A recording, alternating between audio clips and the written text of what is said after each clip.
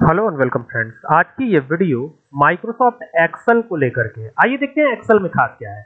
यहाँ पर देख सकते हैं, ये लिखा हुआ है मीटर, और यहाँ पे दिया गया है सेंटीमीटर ठीक है?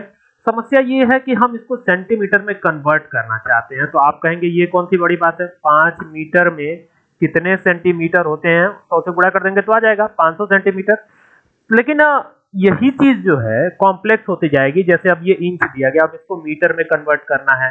मीटर दिया गया है, किलोमीटर में कन्वर्ट करना है तो इसमें दिक्कत आ सकती है। तो आइए देखते हैं इसको कैसे करेंगे। सबसे पहले कोई भी फॉर्मूला फ़ंक्शन इक्वल टू के निशान से शुरू होता है और यहाँ पर हम फ़ंक्शन क्या लगाएँगे? कन्वर्ट क्या लगाना है आपको? कन्वर्ट लगाना है। तो देखिए, यहाँ पे कन्वर्ट आ भी रहा है नीचे। तो ये कन्वर्ट फ़ंक्शन का यूज़ करेंगे और यहाँ पे नंबर को सेलेक्ट कर लेंगे। यही मीटर में दिया हुआ है ना? तो मीटर को आप कर लीजिए सेलेक्ट और मीटर से किसमें जाना है हमें? मीटर से हमें जाना है सेंटीमीटर में। तो ये देखना है कि ये किसमें दिया हुआ है ठीक है? तो आप देख सकते हैं ये मीटर में दिया गया है ठीक है ना? किसमें दिया गया है? मीटर में दिया गया है। तो हमें भी क्या करना है मीटर का जो कोड होता है जो आ, मीटर का कोड होता है उसे हमें लिखना होगा। तो मीटर का कोड क्या होता है? तो मीटर का जो भी कोड होचेंगे कि यहाँ पर हमें मीटर ही लेना है तो मीटर का कोड क्या होता है? तो कोड मैं बता देता हूँ अभ्यास थोड़ा सा कर लीजिएगा याद हो जाएगा। एम होता है मीटर का। तो ये हमने एम दे दिया, क्योंकि ये मीटर में ही दिया हुआ है। देखिए ना, मीटर में ही ये दिया हुआ है।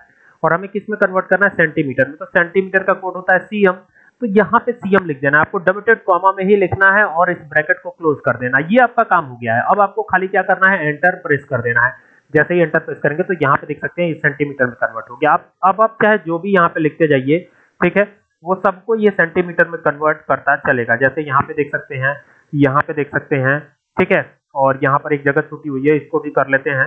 तो ये देखिए, अब आपको खाली यहाँ से ड्रैग भर करवाना है और ड्रैग करवाते ही ये सब सेंटीमीटर में कन्वर्ट हो जाएगा। इसी तरीके से इंच है तो इंच को मीटर में कन्वर्ट करना है। तो यहाँ पर इज़ इक्वल टू का निशान लगाइए और यहाँ पर कन्वर्ट फ़ंक्शन यूज़ कीजिए। तो ये हो गया कन्वर्ट और कन्वर्ट लगा करके ब्रैकेट को ओपन करना और इसको सेलेक्ट करके कॉमा लगाना है। डब्ल्यू कॉमा के अंदर आपको क्या करना है?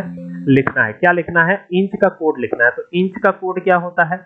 इंच का कोड क्या होता है? देखिए, अगर आप गलत कोड लिख देंगे, ठीक है, ध्यान दीजिएगा, अगर आप गलत कोड लिख देंगे, ठीक है तो आंसर नहीं आएगा, ठीक है? जैसे जैसे मैंने आपको सेंटीमीटर और वो बताया है तो इंच के लिए आपको आई एन लिखना है।